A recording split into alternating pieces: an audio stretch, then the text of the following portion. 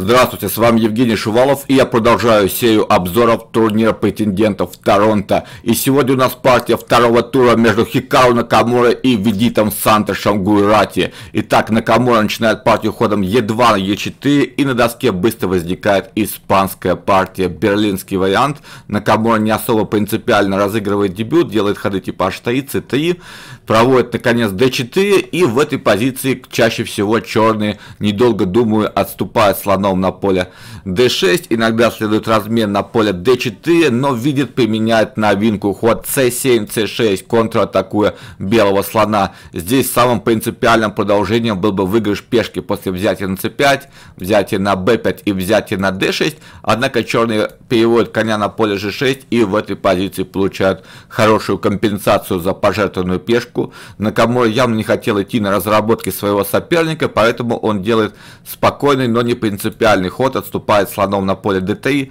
черный отступает на поле b6 и следует размен на поле e5, приводящий к симметричной пешечной структуре. Однако Накамура не готов мириться с тем, что соперник может удивить его в дебюте и ничего за это не заплатить, поэтому Хикару забирает центральную пешку взятием конем. Казалось бы, белые выиграли пешку и у черных нет за это абсолютно никакой компенсации, но не тут-то было. Видит, наносит разящий удар по пешке h3. Выясняется, что если в этой позиции побить слона на h3, у черных находится ход ферзь b8, атакует центрального коня и у коня не так много полей для отступления. Если попытаться отойти на f3, то Пользуясь связкой по диагонали, черный ферзь влетает на поле g3 шахом, потом забирает пешку на h3 и после хода конь h2, ладья f на d8, связка, черные отыгрывают фигуру и получают просто выигранную позицию. Лучшая попытка за белых это защитить коня ходом слон f4, но на это следует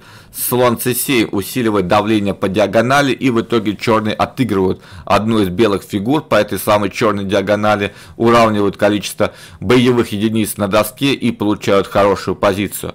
Не искнул Хикаро забирать слона, хотя, видимо, это было объективно лучшим решением в позиции. Вместо этого он отступает конем на c4, хотя хочет получить преимущество двух слонов. Слон g4, темповой ответ нападая на ферзя. Ферзь отступает на поле c2 и слон уходит из-под размена. Но теперь Хикару вновь нашел способ выиграть пешку. e4, e5 атакуя коня. Конь отступает на поле d7 и Хикару смело забирает пешку с шахом. Король отступает на d8. И давайте посмотрим на эту позицию. Да, белые выиграли пешку, но у них явные проблемы с развитием ферзевого фланга. Все фигуры стоят на своих начальных позициях. Кроме того, отсутствие пешки на h2 создает серьезные проблемы вокруг белого короля. Слон уже поглядывает в эту сторону. И не дай бог, здесь какая-то фигура пойдет и начнется серьезные проблемы. Ну и главная проблема, что сейчас грозит просто выигрыш слона на поле h7. Черные могут сыграть g7, g6 и слон попадет в капкан, в результате чего а, белый вынужден терять дополнительные темпы на отступление фигура. Накамура сыграл слон d3, это самый логичный с точки зрения человека ход, но тем не менее этот ход можно считать чуть ли не решающей ошибкой в партии.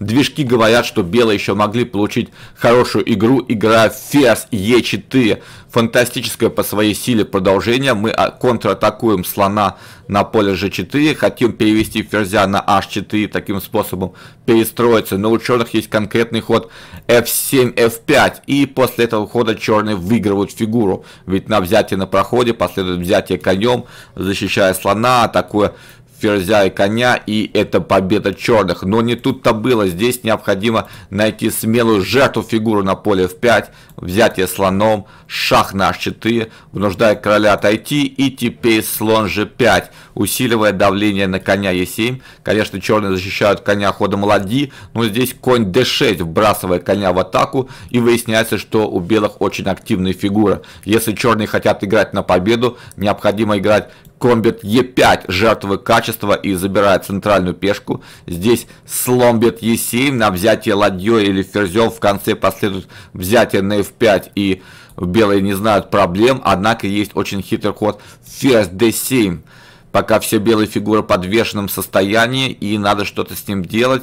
Грозит взятие коня. Сильнейшее это взятие ладьи на поле F7. Ну и здесь, если просто побить ладью, тут слон уходит из-под боя и В общем, белые остаются с лишним качеством. Конечно, у черных есть компенсация в виде двух слонов и очень активных фигур, но это всего лишь компенсация, но не перевес. А если черные хотят играть именно на победу в этой позиции, необходимо найти промежуточный ход. Конь g6 нападая на белого ферзя, теперь на любое отступление ферзя последует взятие королем, и ладья заходит на линию h с решающим эффектом. Поэтому, внимание, смотрите, на конь g6 Конь Е5, контрудар, и конь вновь скачет на битое поле сразу под два боя. Давайте посмотрим варианты на взятие слоном. Следует шаг ферзем на c4, закрываемся слоном, и ферзь Е4, атакуя коня, и слон тоже попадает здесь под прицел белого ферзя. Сильнейший это король f7, теперь f2, f4, слон уже огромное количество ходов находится под боем,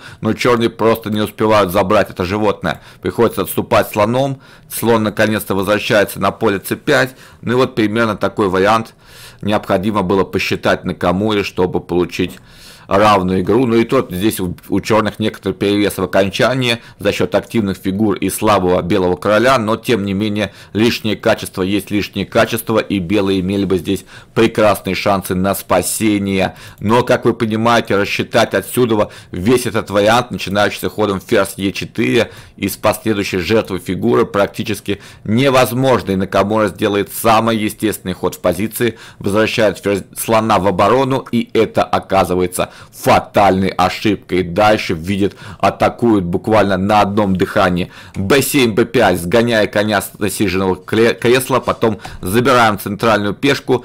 Конечно, белые еще могли побить слона и каким-то таким способом пытаться обороняться, но после хода f5 все равно атака черных очень страшна, а белые фигуры так и не закончили развитие. Накамура пытается делать аккуратные ходы, защищаться вот таким способом, но это очередная потеря темпа. И видит, рвется в атаку, не зная преград. F7, F5. Белый пытается тормозить черную пешку ходом F4, но теперь ослабляется черная диагональ и ее немедленно занимает чернопольный слон. Теперь взятие на e5 приводит к ходу конь d5 и примерно тому же, что к партии. Накамура пытается защищаться королем, но, как вы понимаете, это чревато. Конь идет на поле d5, атакуя коня в шах королю. Король просто отступает из-под боя. Накамура забирает фигуру, чтобы хотя бы страдать не бесплатно. И следует ход ферзь g5. Все черные фигуры направлены на связанного коня. И защитить его просто нечем. Накамура пускается в бегство. Черные забирают коня на Е3, размен на G4, взятие ферзем, размен на поле Е3, взятие конем. Накамура пытается искать спасение в Эншпиле, но не тут-то было. Ферзь G3 шах, король убегает на ферзевый фланг. Шах ладьей, король продолжает свое бегство на c1 и ферзь G5, создавая страшные угрозы вскрытого шаха белому королю. Накамура делает форточку, пытаясь убежать королем в безопасную зону на поле b2, но ход конь c1 венчает эту партию шах, и на любое отступление конь переходит на поле g3 и атакует две тяжелые фигуры белых. У белых нет абсолютно никакого развития, они терпят материальные потери, у черных атака ни за что при материальном преимуществе, и здесь Накамура признал себя побежденным. Что ж, делаем первые выводы, видит очень хорошо, готов в дебюте, он заготовил огромное количество нестандартных стандартных атакующих схем, связанных с жертвой пешки в дебюте, с гамбитной игрой и две черные партии, которые он сыграл на старте, показывают, что видит не только в отличной форме, но и очень настроен на борьбу, даже черным цветом на победу. На этом я заканчиваю обзор. Если вам понравилось, не забывайте ставить лайки и подписываться на канал. А с вами был Евгений Шувалов. Следим за турниром претендентов в Торонто.